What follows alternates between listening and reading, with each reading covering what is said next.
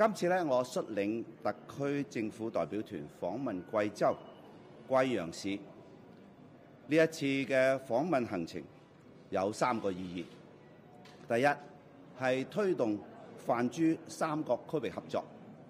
我首先係恭賀貴州省舉辦咗一次成功嘅泛珠三角區域合作會議。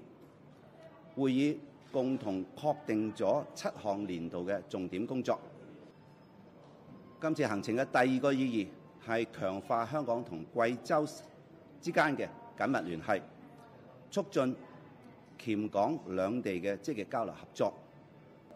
今次行程嘅第三個意義係我同一同嚟出席泛珠會議嘅各領導，大家增強交流、見面、建立共識。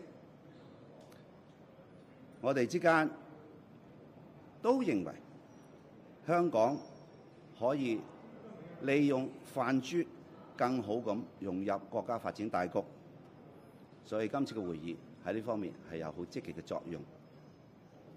我亦都向佢哋介紹香港擁有背靠祖國、聯通世界嘅獨特優勢，係將外資引進來，同埋協助內地地公司走出去嘅方便門户。